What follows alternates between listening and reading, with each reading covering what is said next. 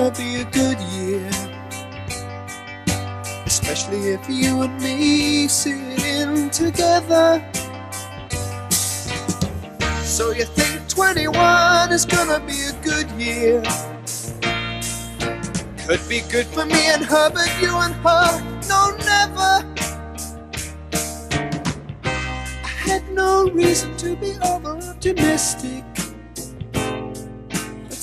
Somehow when you smile, brave bad weather. Denver Broncos Mile High View, no commercials, no bullshit. Uh, we're going to give you a show unlike any other out there.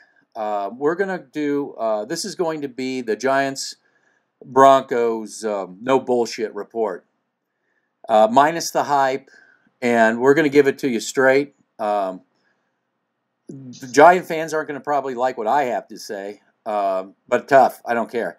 I'm tough on the Broncos. I'm not going to hold punches back on the Giants either.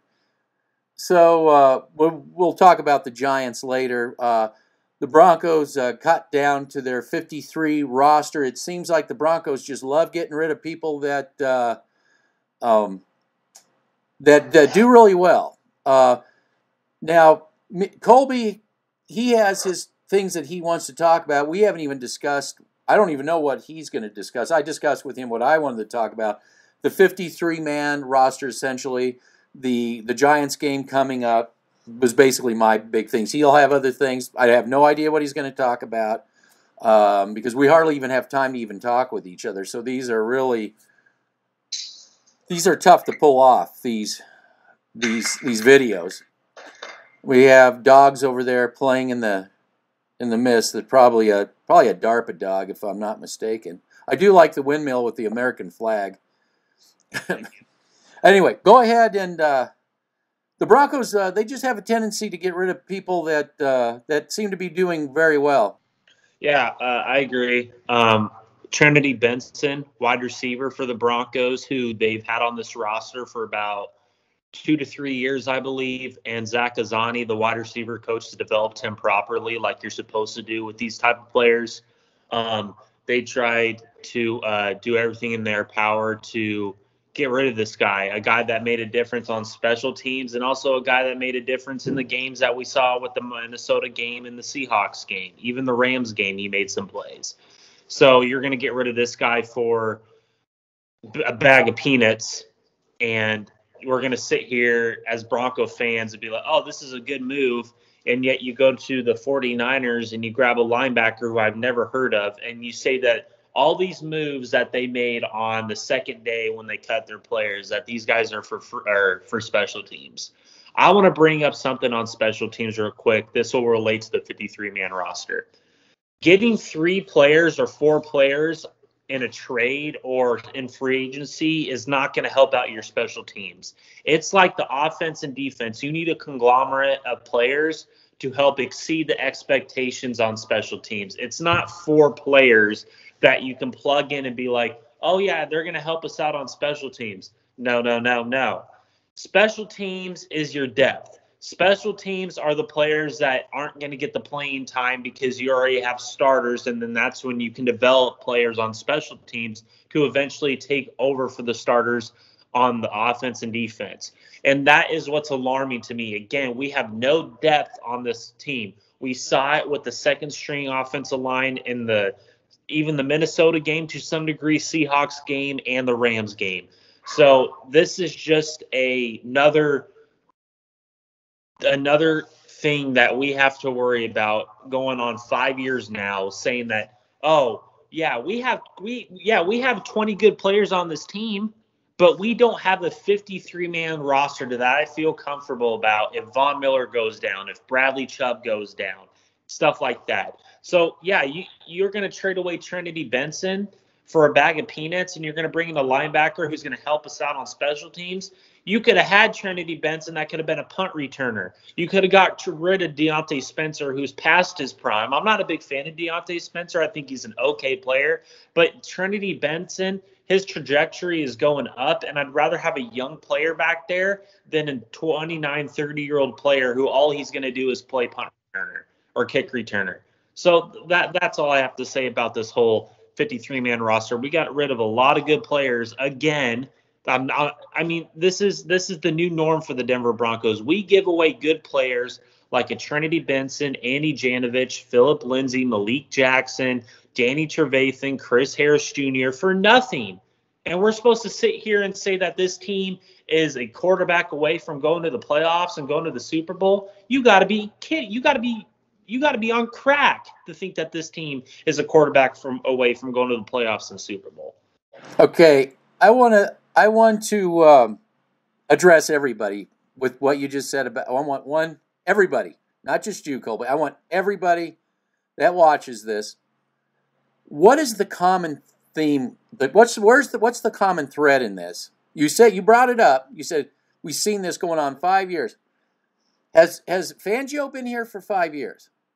Has George Paton been here for five years? No. Who's been here for five years that I could point a finger to that's in charge of player personnel? John Elway. Yeah.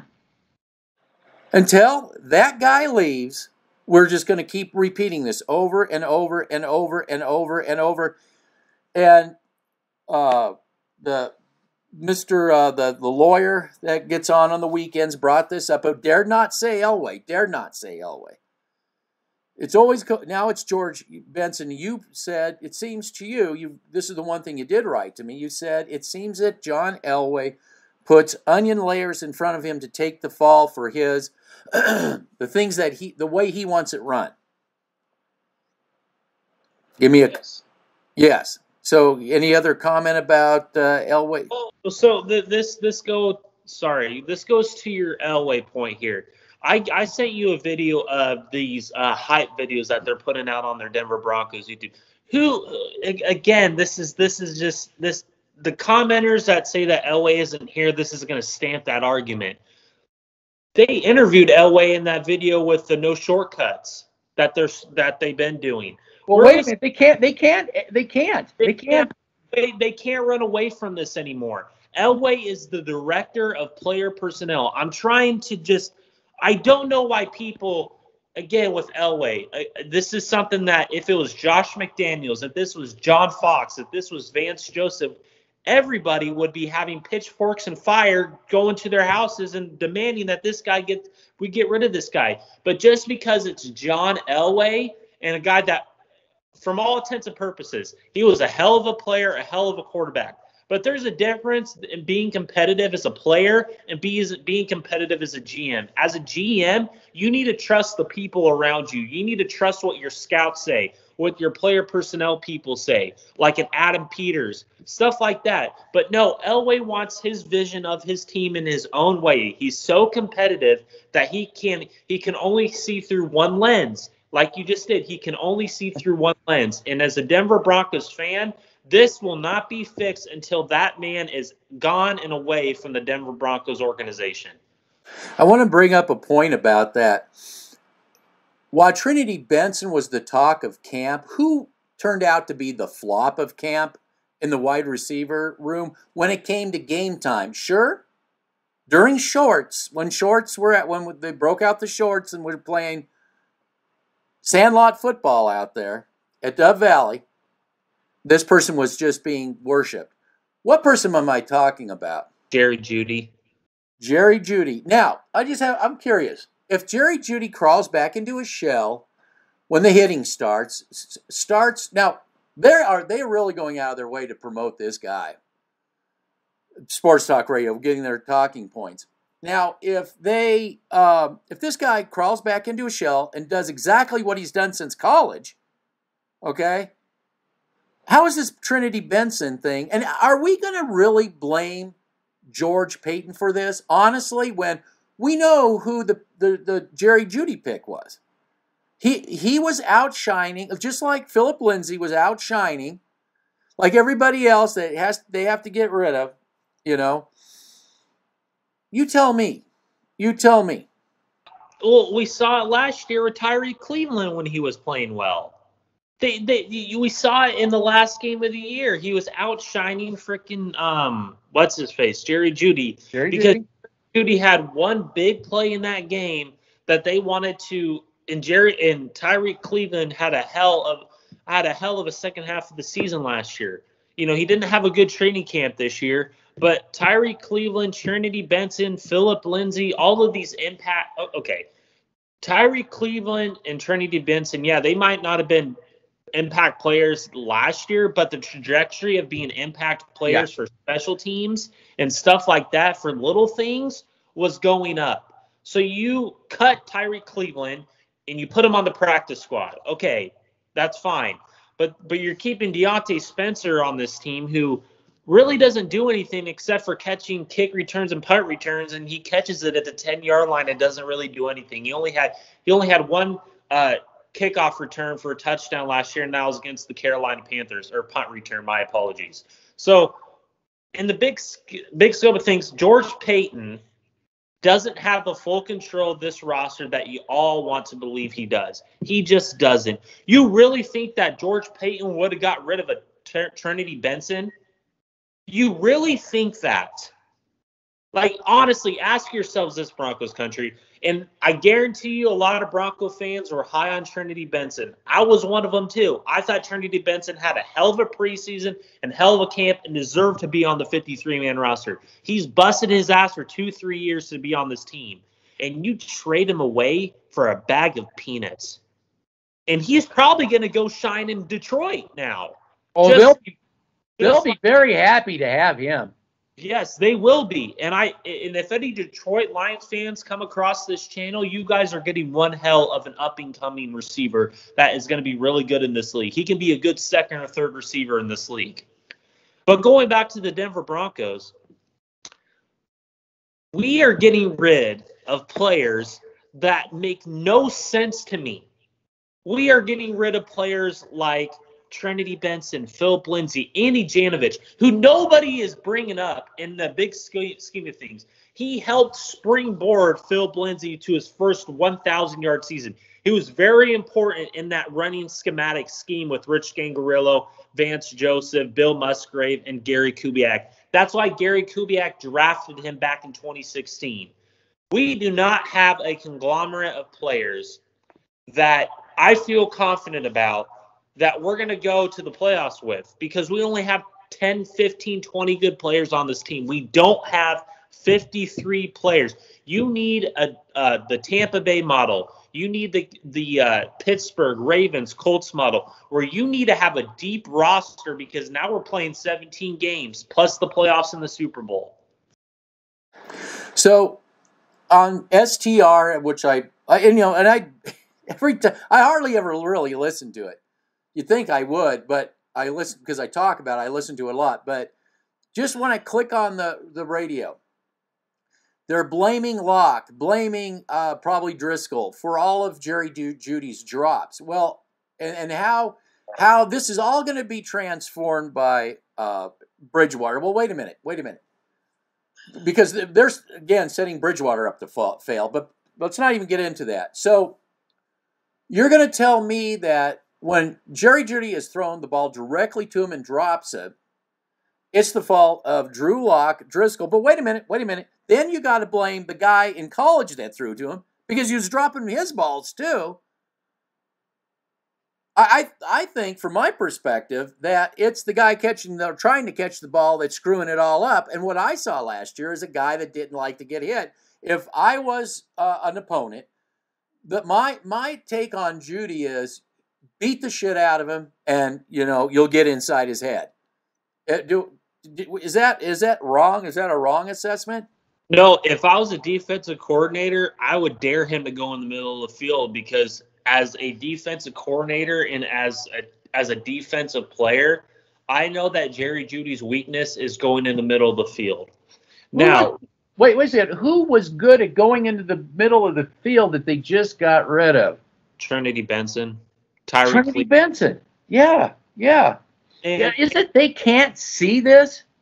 Well, what's they, going on? Because because let me tell you, because they are so dead set on Elway is so dead set on proving people like you and me wrong that he wants Jerry Jeudy, who I was never high on the pick. I've been coming out the past two years saying that this guy is not was not the best receiver in that draft. It was CeeDee Lamb. And I'm telling you right now, Jerry Jeudy, you guys want to blame Lock and Driscoll. He had a game where he had 10 drops. That's not all on the quarterback, ladies and gentlemen. I had I saw Drew Lock throw a perfect ball in double coverage right in the breadbasket. And what did Jerry Jeudy do? He dropped the football.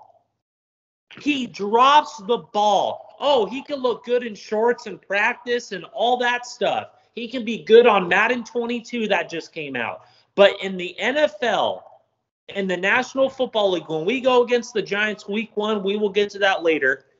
We are going to see a guy that is going to be afraid to go in the middle of the field because he doesn't have the mental stability as a receiver like a Rod Smith, Ed McCaffrey, Jerry Rice to be able to sustain the excellence that you need to have in the middle of the field.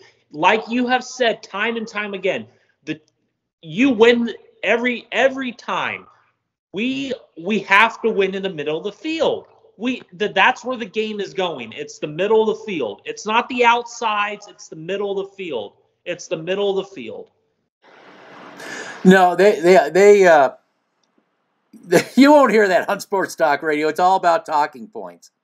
Yeah, they uh, they are really trying to overhype that guy because he needs he needs all the band aids and and gauze yeah. that yeah. So yeah, because if that when that when they realized that that pick went south and then we were right, get the offensive get this offensive line going. I have I I I was going to ask you. I did a, a little film review and I granted it's not the greatest. I'm I'm strapped on time. The NFL Game Pass is a joke. It's it's ridiculous. We're not getting what we used to get. Um, we're, we don't even get the full game now. It's just the condensed version.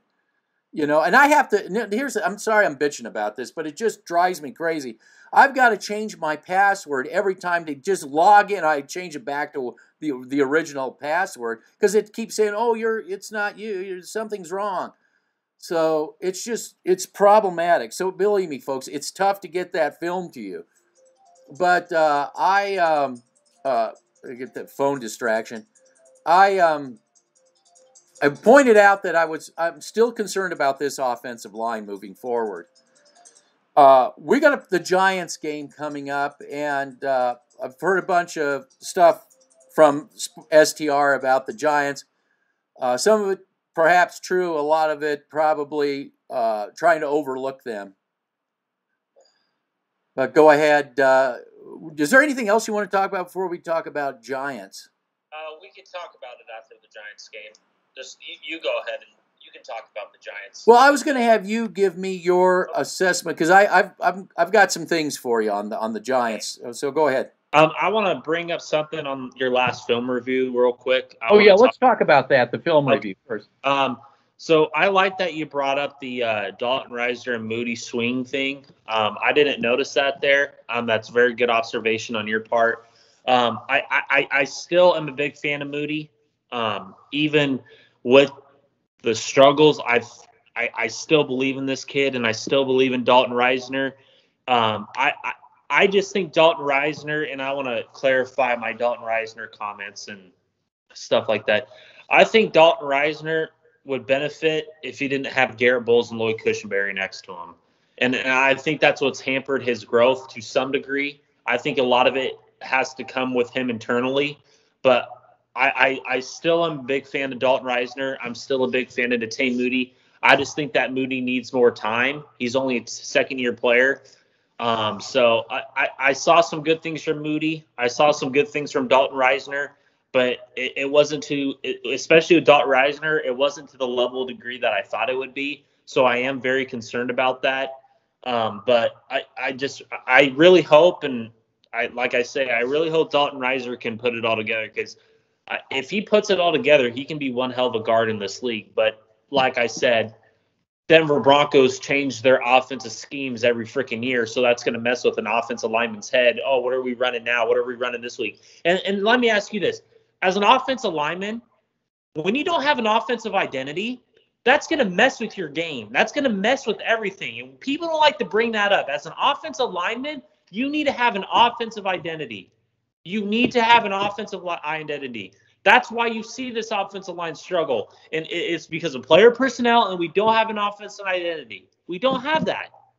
So, of course, that's going to make guys like a Dalton Risner and stuff like that look bad. I'm not saying that Dalton Risner had a great preseason. I'm not saying that.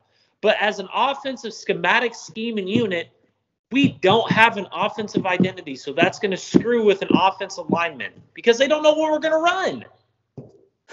Okay. Here's the here's the deal. Here's the deal.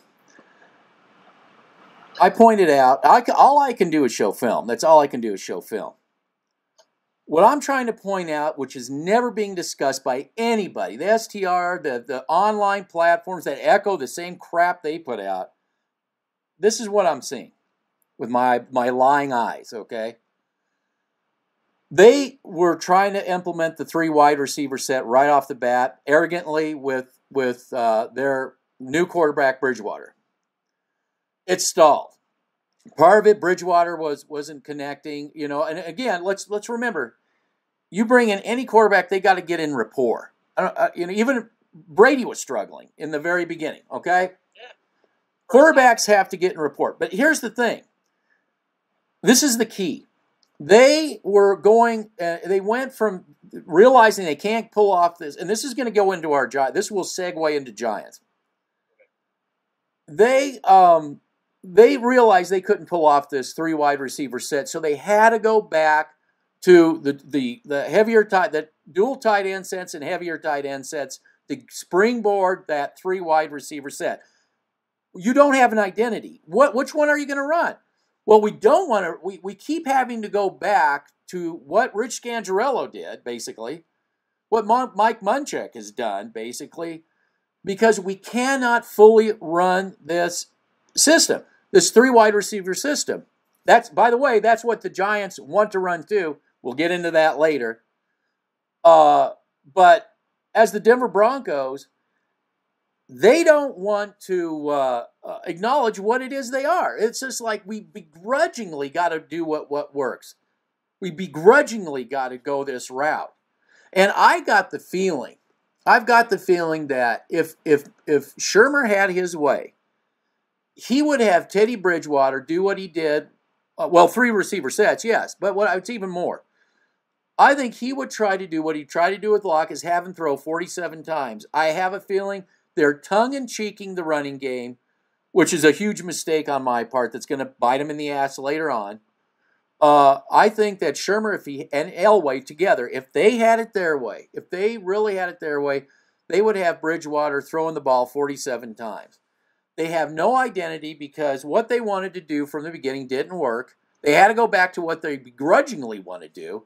So I don't, you know, it's going to be an interesting season to see how these egos out there up in the front office and on the field at the uh, the offensive coordinator, how this all unfolds during the season. We got the Giants coming up. Give me your take on the Giants. I, as a Denver Broncos fan, I don't think that, as a Denver Broncos fan, I'm not overlooking this game. Um, a lot of Bronco fans are, oh, it's the Giants. Yeah, you could say that about their offense, but their defense. Um, l- let me just tell you this: the Giants' defense is a very good unit. It's a very solid unit. Um, I wouldn't put it up there with the Vic Fangios and Brandon Staley's and Wade Phillips of the world, but they're a damn solid, good, disciplined unit. Um, when I was watching the film with them, they they run a lot of multiple packages and multiple coverages that is going to make your quarterback think. That is going to dis- that's going to make your quarterback go, "What the hell's that? I didn't see that on film." I, I, I really do believe that this game is going to be a lot closer than people realize. Um, and it, it, in my personal opinion, I think it's going to be hard for us to go to New York with 9/11 anniversary with all those New Yorker. And I get it. We all we all could. You know, I agree. Oddly, oddly enough, the the Broncos were playing the Giants right after 9/11. I mean, at in I believe it's a re a rehash of that yeah. all Yeah, but all those people are going to be hyped. It's everybody's going to be all those vaccinated people are going to be hyped, and they're going to be cheering on. And it, it, I don't see in Denver. We we all know this. Me and you know this. As Denver Broncos fans, we struggle on the East Coast. I mean, it, it's just every Well, time we go there, we suck. Every time we go there, we stink up the joint. Every time we go to Baltimore, etc., we stink up the joint. But when we go to Do you hear anybody at STR bringing that point up? No, not Okay. really. Okay, go ahead. No, you're good. Um, so when we, I, I just, I don't see us. And every once in a while, prediction. I think that, and this is my prediction. I think this game is going to be a lot closer than people realize, and I think people are overlooking the Giants. So, in my personal opinion, I think Denver Broncos are going to drop this game. I, I, I just don't, as, as a realist and as a GM mindset, I don't see this offense. We saw it with the Rams. They started off slow. I think that's a reason. I think that Shurmur's trying to put in a system that he's just trying to shove it in, like he's trying to put a square peg in a round hole. And all this player personnel, the offensive line, for example, they are not good pass protections. They are good run blockers. They are not good. They are not very good at the pass protection sets. They are going to do it. They are going to stubbornly do the three wide receiver sets to start the game, and they're going to continue that probably till the, the halftime.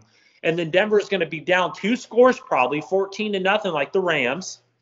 And the, the people like to just say that this Giants defense and this Giants team sucks.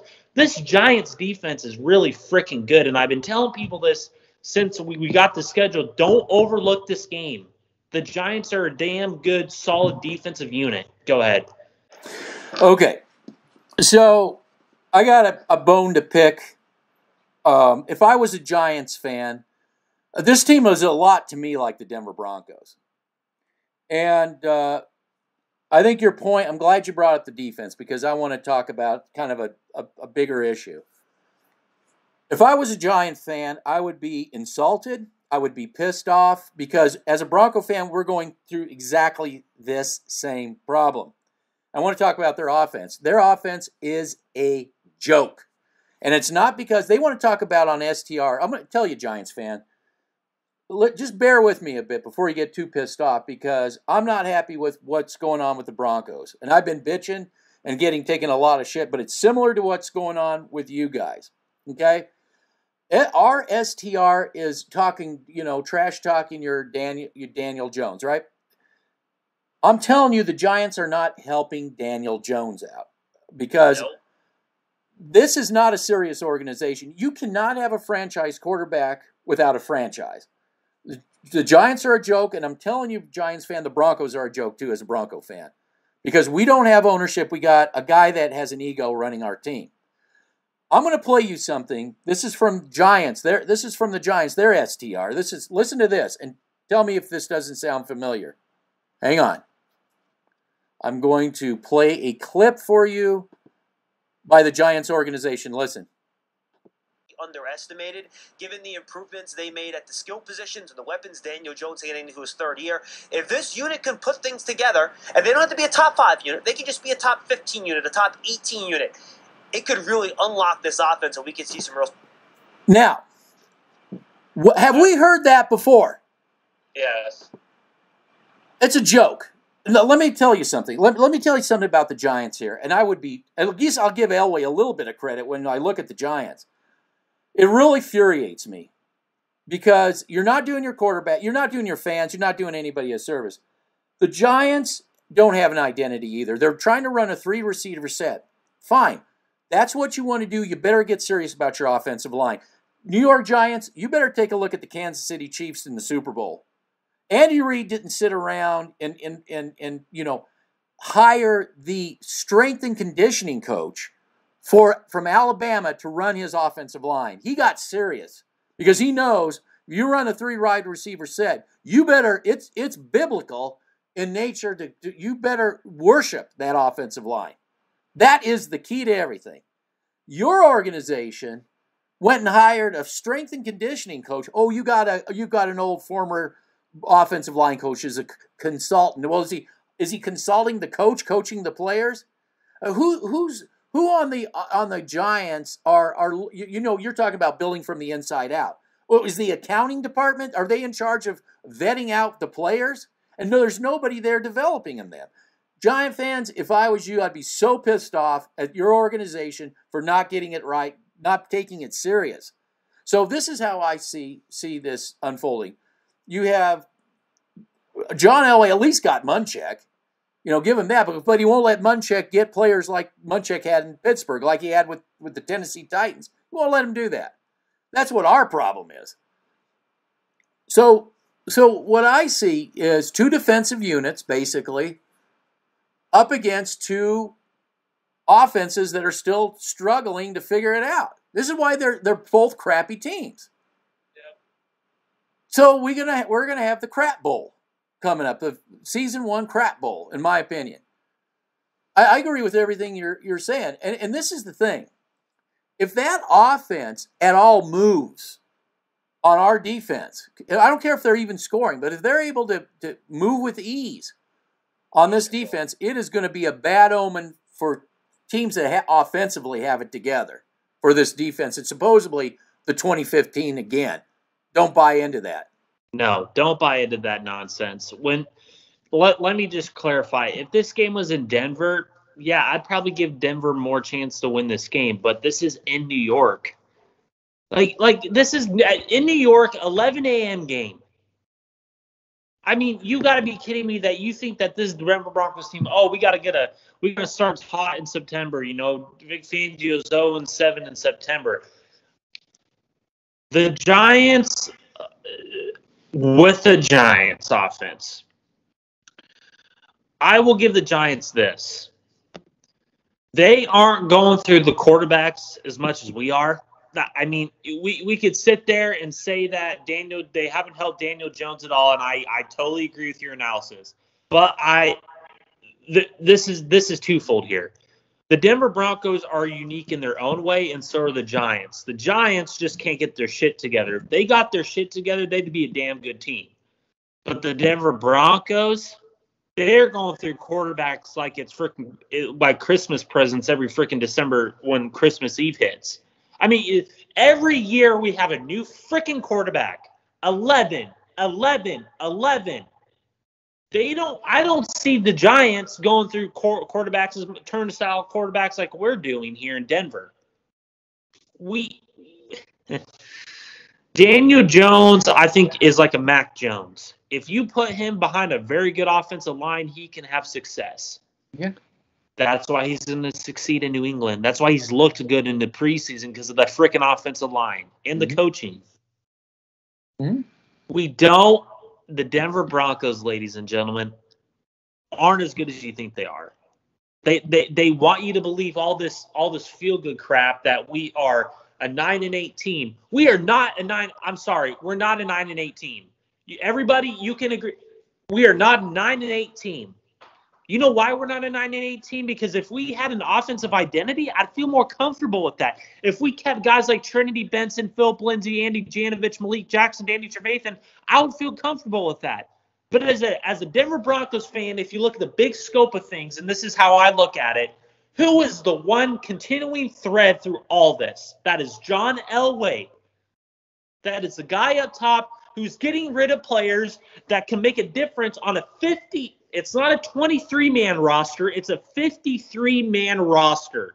We don't have a 53 man roster. We have 10, we have 15 to 20 players on this team that are good. But we don't have a 53 man roster, a conglomerate of players. And every time that I was watching and every time I listen to the players talk, they don't seem excited about this season. Oh, we want to get off to a hot start. We want this. There is no identity and no excitement in that locker room. I guarantee you there is none. And Von Miller cannot wait to get his ass out of out of Dodge and out of Denver. Guarantee you. Yeah, you don't hear I can't wait to get out there. I can't wait to get out. You're just here like, yeah, you know, we really should be doing better. you know, that doesn't alarm you. It's just like, what? You know, you, again, where else are you going to hear this 53 man take this analysis on the 53. You're nowhere. Because we just keep seeing the same thing over and over and over like Groundhog's Day. You're right. It's not a 23 man. It, you're right. You're right. You're right. And this is this is what I'm going to say about getting rid of valuable players. They're doing it with Bryce Callahan now. What a shocker! They're doing it with Bryce Callahan. I know that Bryce Callahan doesn't stay healthy. Oh, I got. I would. Yeah. I got. Yeah. I'll let you talk about that because that really pisses me. I'm glad that was another talking point that I didn't. I was going to bring up. I didn't write it down, and I'm glad you brought it up because you just reminded me about it. Now, I'm telling you right now, I've told everybody, Dove Valley, since talking, they hire John Clayton to, to go out and be the spokesperson.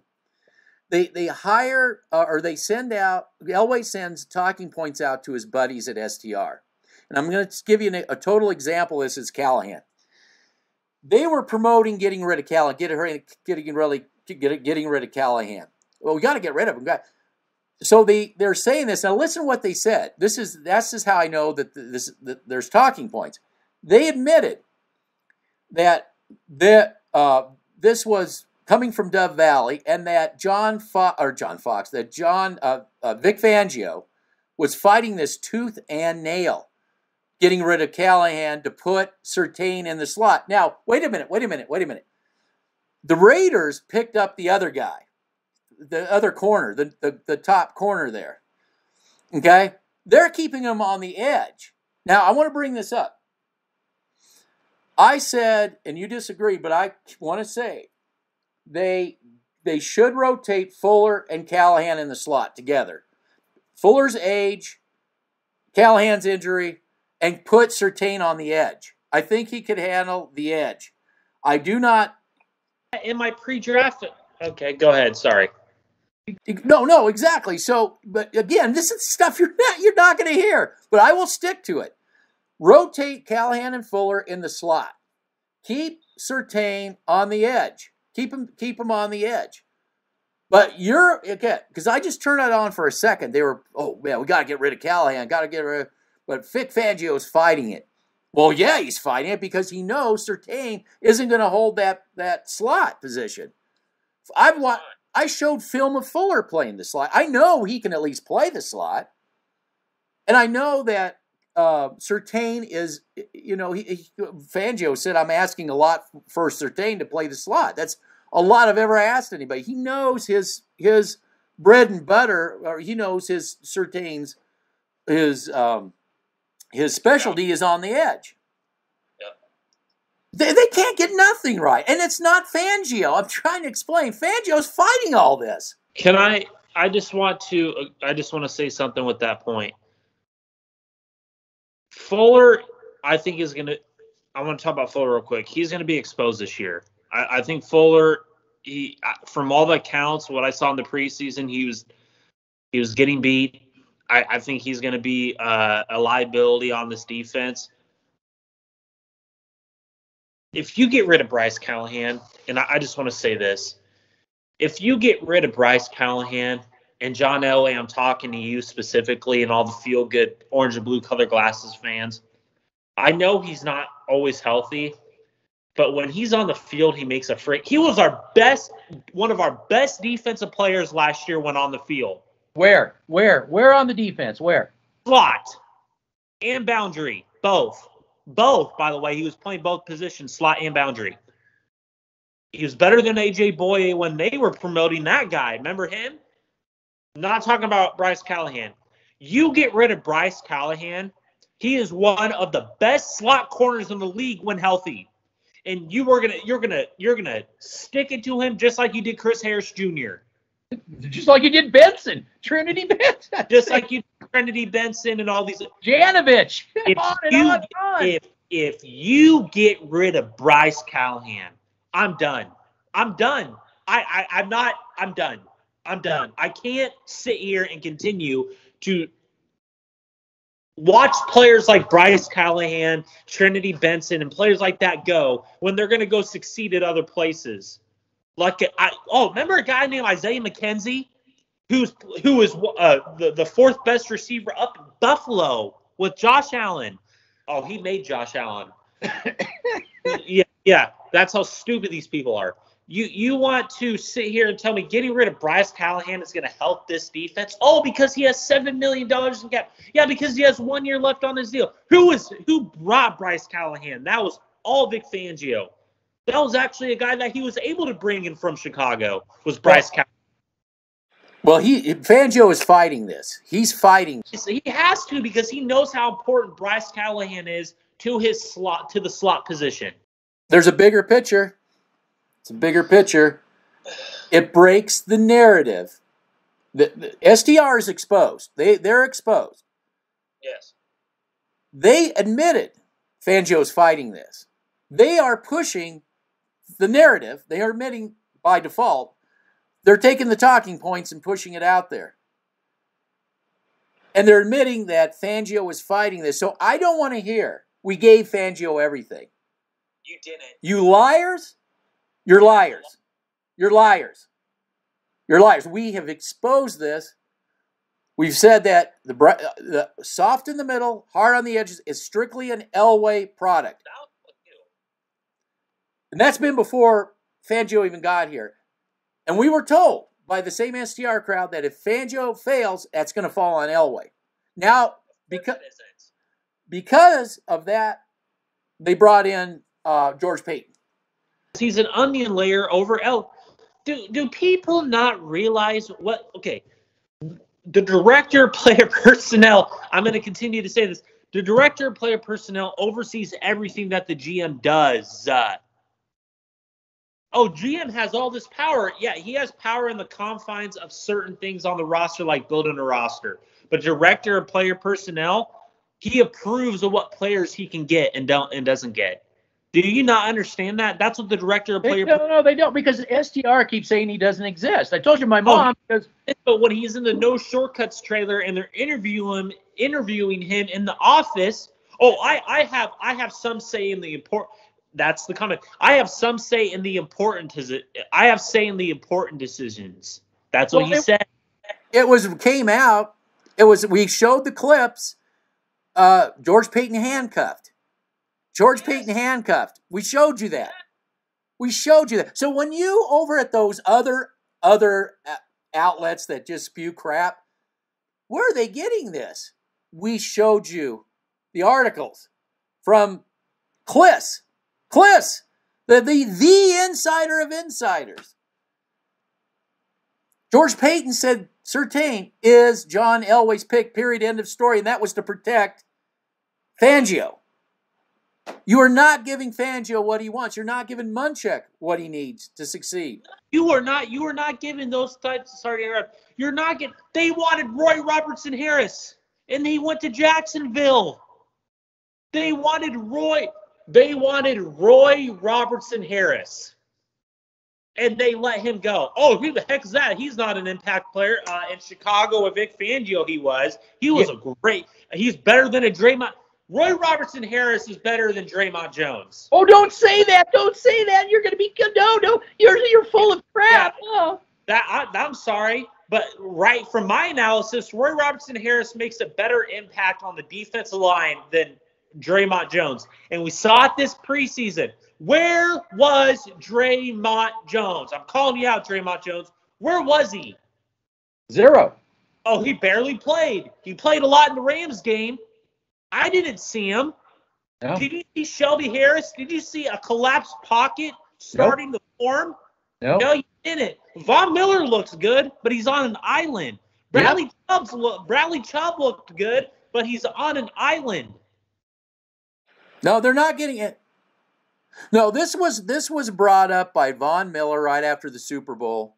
He brought up the push in the middle, how vital that was for his game to do what he did. We've been trying to say that. We showed the last Super Bowl where they were in Mahomes' face taking that first read out, and then being competent in the middle, also taking that first read out. Mahomes looked like garbage it wasn't it wasn't taking away the first read. I, I, it is a part of that, but it's Vita Vea and Ndamukong Suh and Willie Gholston, that defensive line that was able to push the pocket and able to get Patrick Mahomes off his spot. Yes. That, then they were able to take away the first read. Yes. And then, yes. And, and then and, and then who they were going to go to Shaq Barrett or Jason Pierre-Paul, just like when you had Malik Jackson and Derek will collapse the middle, you're going to go to Demarcus Ware or Von Miller. That's how you build a defense. That's how you build a defense. That's why Wade Phillips was ahead of his time. And that's why Vic Fangio did everything in his power to bring Khalil Mack in. Everything in his power to bring Khalil Mack in. Yes, yes, yes, yes.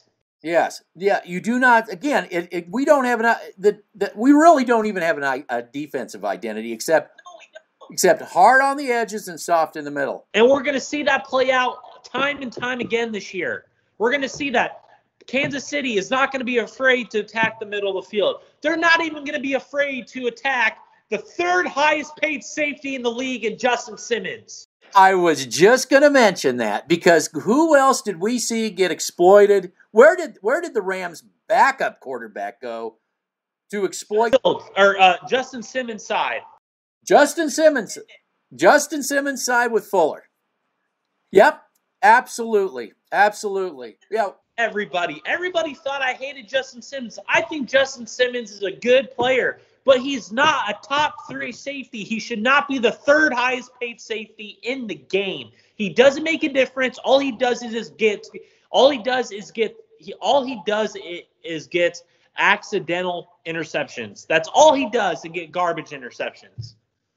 Yes, yes. Uh, I was watching one of these Krieger Sports reports on the Raiders uh, cornerback they picked up in the draft, and they were showing the difference between a Justin Simmons uh, interception and a an actual grab running next to the next side by side with this receiver grabbed the the pass that should have never been thrown. Big difference, but this is a bigger picture here. We're we're we're um, we're painting here is is um, with with the player personnel the Broncos get rid of and the ones they promote I think they're trying to make Justin Simmons to be the next Von Miller spokes, basically team spokesperson. You know, we need it. We because when you're dealing with PR and spin and and garbage like that, instead of actually building a 53 man roster, you need a, a yes man from the for the guy up on stairs making all the bad decisions. Am I right about that? Very right about that. You are not going to get this anywhere else. We're going to tell you like it is. We don't pull punches. We are not going to be bullshitting anybody, especially ourselves, with what's going on. Especially on this channel, you're not. You go to other. I'm not going to call out the other platforms because that's not what I'm doing. But they they say that they provide film review. Come on now, stop lying to your audience. Well, show us the film. I respect your. Listen, listen to this. I would listen. I would. I would honestly give a shit about those online platforms if they weren't freaking lying and conning their people. I don't know how you that shit, man. I don't know how you can get away with that. I just don't understand it. You don't show. Yes, yes. it's the yes shit. It's the feel good shit. They they honestly believe that this team is a quarterback away from and Aaron Rodgers away from everything. They honestly believe this. In their head, they don't look at the offensive schematics like we do, the defensive schematics, the player personnel, all 23 that we have. The the the continuing thread that's been going on in this organization since Pat Bowlen died in the head and is gone because of John Elway. Everybody likes to praise John Elway for that Super Bowl 50 run. It was not him. It was Wade Phillips and Pat Bowlen, ladies and gentlemen and Gary Kubiak. I don't want to hear that. I don't want to hear it. And Gary Kubiak isn't even Gary Kubiak is not even he's in Minnesota. So I don't even want to hear it. I don't even want to hear this crap that it was all Elway. Well, what I find fascinating about the whole John Elway and the Super Bowl thing is if John Elway was to get credit for the Super Bowl, why did he everything that was um, that made that Super Bowl happen? Why did he get rid of all of it? All of it. the defense. rid of it a year later and the year after that, 2016 and 17. He oh, it's because Wade Phillips wanted too much money. I would have bent the knee over Wade Phillips. I would have gave him all the money he wanted to be the defense coordinator if it he had the power. It wasn't that much money. It was one million dollars. They gave they gave uh, uh, these off these. Well, what was it that the Ja'Wuan James ten times more? I mean, uh, you know, Menelik Watts. I mean, you know. That's another thing. We are bringing in players that make no sense either. We we are drafting players that make no sense either, like a Patrick Surtain, like a Jerry Jeudy. Well, you're bringing in Patrick Surtain and tell him to go to the slot, and, and Fangio is like looking like, uh, Let me- just- this. They they STR, and this is another thing we can talk about. STR is so hell bent on beating the Chiefs. They are so hell bent on beating the Chiefs. You are not going to beat the Chiefs with three good corners on your roster. You are going to beat the Chiefs with like everything else, like a quarterback is going to struggle with, and every offense is. You are going to need that push up the middle, and this is and this is why. And I am very concerned about this defense with the push up the middle. We saw it with the Rams; they were able to run it on us, and we saw it in the Seahawks game when Chad Brown was men- mentioning it. We have no push whatsoever up the middle. You think our run defense is going to be good this year? Mike Purcell's struggling. That's very concerning for me because he's our best run defender on this roster. That's very concerning. I'm telling you, if I'm the Giants, I would run ball. Uh, that would definitely, I would definitely go that route too. And you know, I think the Broncos, they should start off trying at least get the running game. But I just am very skeptical that they're going to try to to get this running game. I'm very skeptical that Saw last year. What did they do? You saw it with Drew Lock. They threw 42 times a game. 47. 47, my apologies, 47 in one game. We saw it in the Titans game when they weren't really in, implementing the running game until week 10.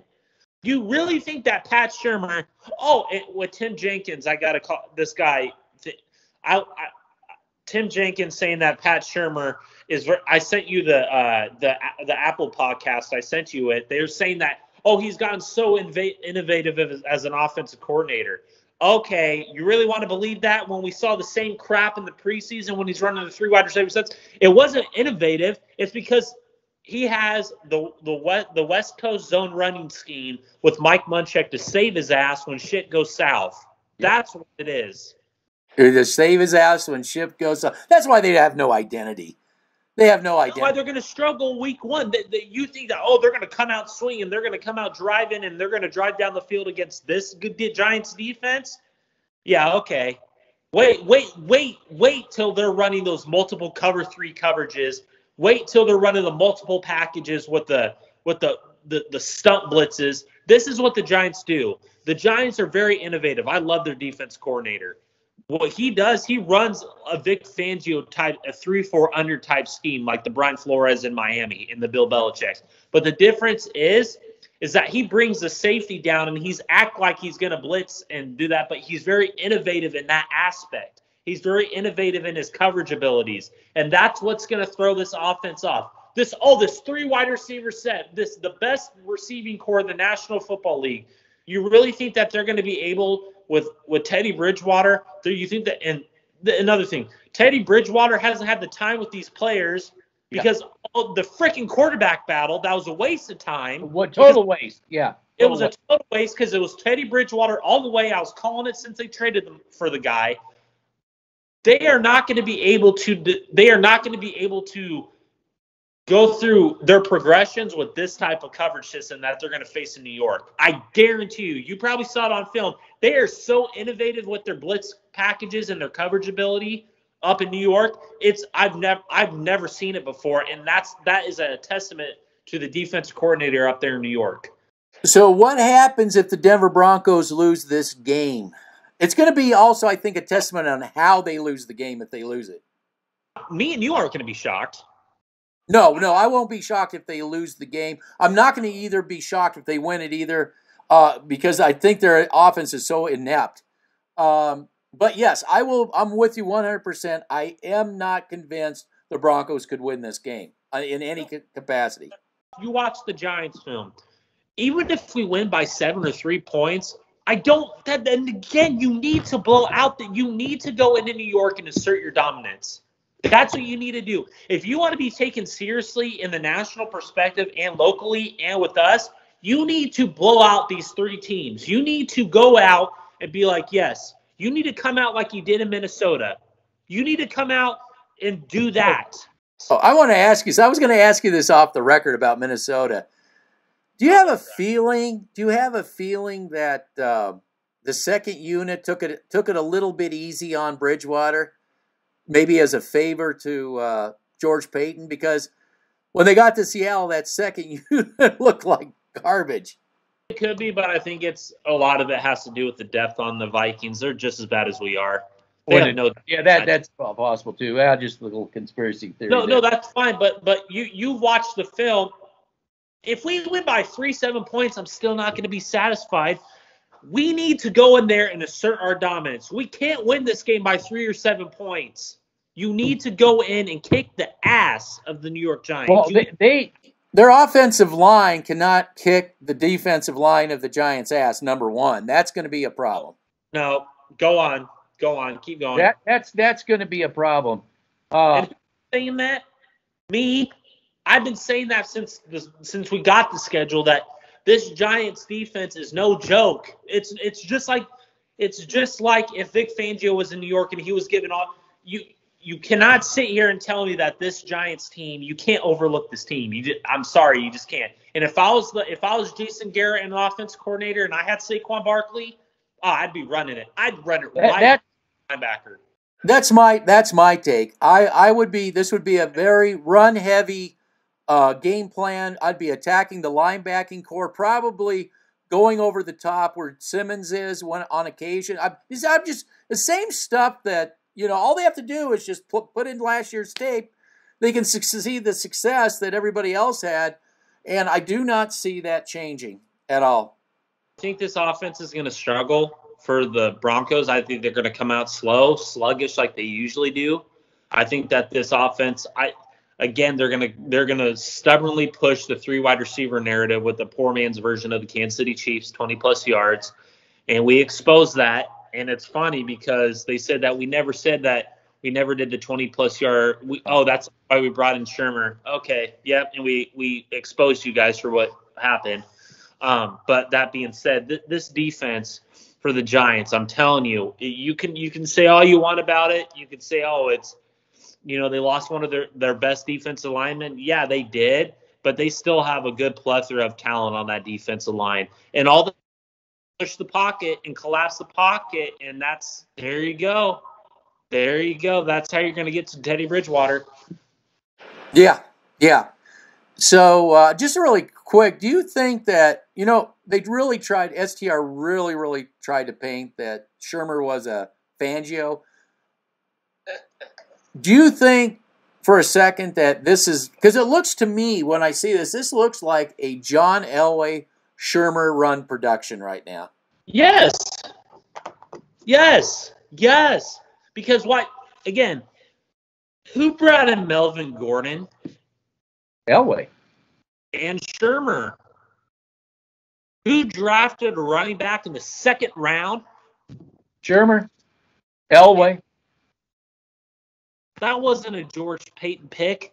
You must be high off your ass if you think that Javonte Williams was a George Paton pick. Well, I'm going to say this. Let's say this about the running game quick and Javonte Williams. Something I've observed it with my eyeballs. It didn't. It didn't go. It, it, Cecil Lammey and the rest of them, and the people that chi- chimed in in the comment section. You'd think that Earl Campbell just got drafted. Um, it all has to come down to blocking. Now, if the if the Giants plug the gaps, you know the guy's going to run to the sidelines. Oh yeah. And I want to see, and because their Giants are pretty quick in their linebacking department, how fast they shut that down too. And then we'll have something to talk about. Um, I agree. I, I if if I was Denver, let's just say me you were the offense coordinator for the Denver Broncos. If I was the Denver Broncos, I'd be running I'd be running the hell out of the Mike Munchak Rich Gangrel offense. Is you have a guy in an Albert O who is getting better as a blocker, who I'm very impressed by. Um, Noah Fant, I am a little concerned because he is very injury prone. Um, he's been out of practice the past two weeks. So that's very concerning. And so is Bradley Chubb. So that's very concerning. So those guys are going to probably not going to play 100% of this game. Um, and then you got to have a guy that you have been high on, Eric Saubert, the tight end, who no one's mentioning, who no one's talking about. Another guy who, yeah, he'll probably have an under he'll have he'll have an underrated year, and Elway will get rid of him. Like so, there's no reason to get high on this guy. I I hope Eric Saubert. I love it. I love. You're right. I love Eric Saubert. I think he could be one hell of a tight end. I think he has the mobility. I think he has the blocking ability to be a damn good tight end in this league. You could have three good tight ends on your roster with Noah Fant, Albert O, and Eric Saubert. You have that already. That is very unshermer like. And that's what I'm saying. That's why you have no offensive identity. Because That- that's fallback plan. That's that. That's where Munchak is coming in, and you know it's Munchak has to be pulling his hair out too because he has to be seeing all this stuff. He knows that the front office wants this three wide receiver set. Uh, I'm sure the Kansas City Chiefs behind the scenes are poking John Elway. You're not Pat Bowlen. You're not Pat Bowlen. You're not Pat Bowlen. You're not Pat Bowlen. You're a joke. And he's and that's all you need to do to get that ego up there going in every direction the wrong direction. I agree. And and you know, thank God. I know I just want to say to this too, Kaiser, thank you. I want to thank Kaiser. Thank you, Kaiser, for not allowing um, somebody who had dementia was was going into the in the final stages of that in Pat Bowlen to not allow John Elway any bit any part of this team ownership. Thank you. I want to personally thank you for that. Thank you. Anyway, go ahead. Again, people think I'm crazy when I say this, but I think this team is going to lose. I, I don't. I haven't over the past four years, five years, let's say five. This team hasn't given me the confidence going into a season where I feel like this team could go on a special run. I don't think this team's any special than last year, the year before that. I think this team still lacks depth from because we saw that with the second string offensive line. It, it was it was atrocious, and I I feel so sorry for Lock being put through the shit because I think Lock can be a damn good player, and you you can disagree with my No, no, analysis. no, no, no, no. No, well, listen, listen. Looking at the film, I would rather have Lock. And let me let me tell let me tell you something. We're talking about getting rid of players, right? And they succeed anywhere else. If I was uh, an, or- a, a franchise, a real a real NFL team, and it's not just about roster building; it's about uh, uh, scouting. First of all, it's about coming up with a system. Now, if I had come up with the saying to go with the West Coast Rich Scangarello or Shanahan system, okay? And I've got my roster, and I've got my um, my coaches, and I've got my scouts. I would love to have Drew Lock come in and and be the guy, because I know from what I'm seeing, I would rather have him than Bridgewater personally. Uh, personally, although I think it's going to work out in Lock's favor, but I think Locke needs to be in a system that that that works for him, and it's not this this dysfunctional system. I would I would absolutely take Drew Lock to run my West Coast system because I think that he has shown, and he's and, and I would ask Peyton Manning to also consult with him as well. With that said, let Drew Lock go and be a success somewhere else uh, for for his. That's what's going to happen. You know, and if it doesn't happen, Drew Lock can also be a stopgap quarterback, a good player. He can be a good player, and you can develop a young. That that that's you know, if, if that's the case, that's the case. I'm not taking anything away from Teddy Bridgewater. I would have loved to have. I would, and this is something that people like to not think about when I say this. I wouldn't have minded Teddy Bridgewater two, three years ago if you were planning a system for the future. I wouldn't have minded that because I think Teddy Bridgewater is a good player like an Alex Smith that you could bring in to help groom a young quarterback and you can keep that system in place to help that quarterback understand the system that you're running. But again, with Teddy Bridgewater coming in here, he is a dead man walking like Drew Lock, Jeff Driskel, Brett Rypien, Brandon Allen, Brock Osweiler, Paxton Lynch, Trevor Siemian. The list goes on and on here. Joe Flacco. Joe Flacco. The list goes on and on. So Teddy Bridgewater, I like I like Teddy Bridgewater, but I don't have the same confidence factor in this guy than I did with Drew Lock just because of the simple fact that Drew Lock has more mobility than Teddy Bridgewater. Teddy Bridgewater is better in manipulating in the pocket. I will give Teddy Bridgewater that. But when that stuff breaks down, where are you going to go to? Because I don't think he has the mobility factor nor the escapability factor like a Drew Lock did. Well, that's where you need some arm strength too. Is when you start scrambling. That's what It- made it- John Elway so successful. I'm not going to say Teddy Bridgewater doesn't have good arm strength. I think he has okay arm strength.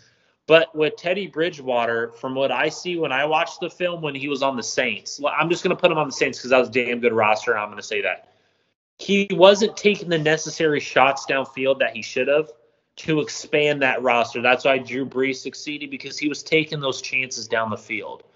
Um, and the guy who does the quarterback analysis doesn't really bring that up. He just likes to bring up that Jared Cook can be a Noah Fant or Noah Fant can be a Jared Yeah, Cook. Yeah, yeah. He limit he limited that. Yeah, he limited that. That's Yeah, he limited that, that aspect. You need the time to be able for that route to develop. And that's another thing.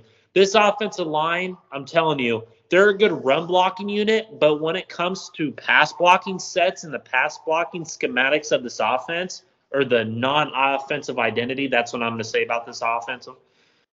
He's not going to have the time nor the ability to let routes to develop for Noah Fant or Courtland Sutton or KJ Hamler. Jerry Jeudy is going to do his thing, his little routes out there. He, they're not going to be able to get be able to let these receivers have time to let a route develop or uh, the tight ends to let their routes develop. And I guarantee you, you're going to see a lot of receivers that are going to be quitting on their routes this year. Guarantee you, we're going to see that again this year.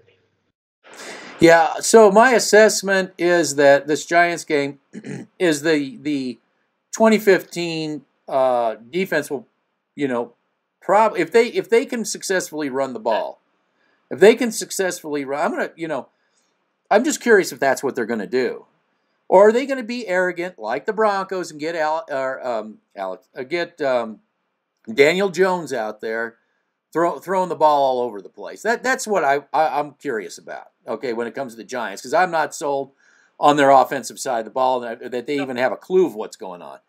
No. However, I think that this mighty offense of ours is going to be that narrative is going to be shattered a bit with this. I think the game, as you said, I think it's going to be a lot tougher than people are are because all these people got STR in the brain, and it's going to not go exactly that way. And I think that that yes, yes, they have a very, very possible uh, uh, loss is definitely a, a very good possibility in this game. I agree. Well, well, we, me and you have sat here for weeks and months on this off season. We have sat there and just been dumbfounded by the fact that what is this team doing? I mean, Yeah. how, what is this team doing over the past four or five years? What is this team? What has this team been doing this off season? It's the continuing trend of shit. yeah. The, The same same thread. The same thread. Yes, the same thread time and time again. Not bringing in impact players to help out certain position groups. Yeah. And we're getting rid of players on certain position groups that could make a freaking difference, like a Trinity Benson. bringing in some band aids and some that aren't even all that good. Yeah. Yeah, Yeah. Bobby, Ignoring what works for you, you know, because you're so stubborn about that three wide receiver system. And and and and, people like to say uh, Fangio was was all all on board bringing in Shurmur. I think that Fangio was more on Scangarello's side than Shurmur's side. Yeah, yeah. I, you know, I don't know what went down, but it sure seems to me that that Elway and Shurmur just are hell bent on this three wide receiver system. That just you can't run it without you. you and again, I brought this up with the Giants. You cannot be serious. You cannot be taken serious until you really take the offensive line serious in in a three wide receiver set. So. Uh, I'm going to wrap it up by saying that uh, I, uh, you know, I'm up in the air about as to who's going to win this game. I'm not confident on either team, um, to be honest with you. But I would say I would agree with your take that the Giants probably have the edge, being in New York, being that the the Broncos, their history. I would give the edge probably to the Giants, uh, also because of their defense as well. Um, and um, so and what I'm curious as to whether the Broncos are going to come out with a three wide receiver set or, or They you know, yeah, So and just before we leave, just before we leave, sorry to interrupt. If everyone, oh, I'm just curious to see if they're going to do that. Yeah, yeah. Uh, against the Rams, what did they start off with? They already named a starting quarterback, and they had all their starters out there. What were they doing the majority of the time? The three wide receiver sets. So we all know going into Week One, that's their game plan. Because if you weren't going to do that, you could have ran the Rich Scangarello offense to help springboard the three wide receiver sets, but you didn't do that. You started off with your three wide receiver sets because you're so stubborn, Pat Shurmur and John Elway, and then you knew that it was shit. So the fallback plan is uh, Mike Munchak and what we've mentioned for about a year and a half now. Yeah, that's not going to work when you play the the stronger teams in the in this uh, you, even in your own division, really. No, not against Kansas City and the Chargers. Nope, not going to happen. You can get away with that with the uh, Raiders and the Detroit, but no, not going to happen with those two t- uh, teams. Sorry. Yeah.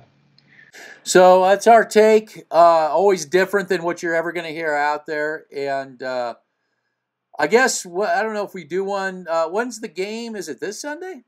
Yes, Sunday. That's right. Sunday. So Okay, so I won't be actually able to watch this game. I may be able to hear it on the radio. Uh, I'll have to do the film study on Monday on it, and then we'll do this uh, next Tuesday. sounds good. All right? Alrighty, take care. Yeah, and you can keep sending me notes and stuff that you know things to look for and that kind of thing. All right? We'll do. All right. Take care. You too. Yeah. Oh, go Broncos. Go Broncos. go get a new owner. Bye.